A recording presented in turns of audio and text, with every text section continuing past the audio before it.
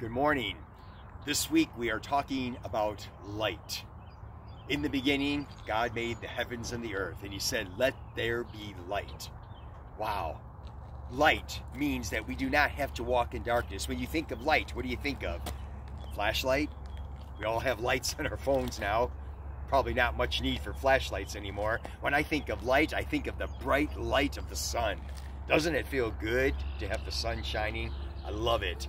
You know, Jesus is the light of the world, and He has asked us to be lights for Him, to uh, do good things so that other people don't brag about you or bring glory to yourself, but that they bring glory to God. That's why we do the good things that we do.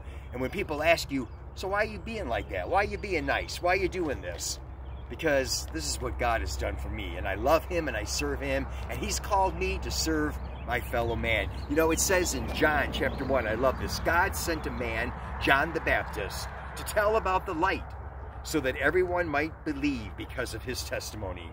John himself was not the light, he was simply a witness to tell about the light.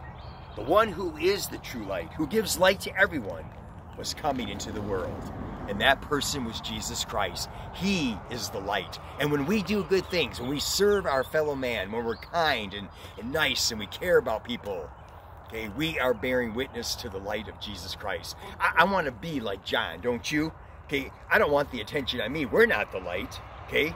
We're here to simply be a witness about the light, which is Jesus Christ. And when we do those good deeds, we are bringing glory to him and we are showing that we are following the light. You know, it also talks in John about how men love darkness. You know, it is a pretty dark world at times, isn't it?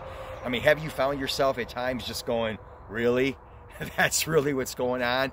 Man, it says men love darkness, and boy, do they. But we, followers of Jesus Christ, we walk in the light. It doesn't mean that we're perfect.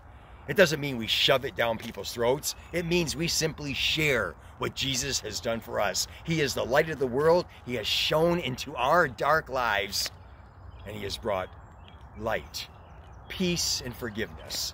And that's what we're called to share with others. Jesus is the light of the world. As you go about your day today, may you reflect on the light and how, because He lives in you, that light can shine out to others for a brighter world. This is Pastor John from the branch. Have a great day.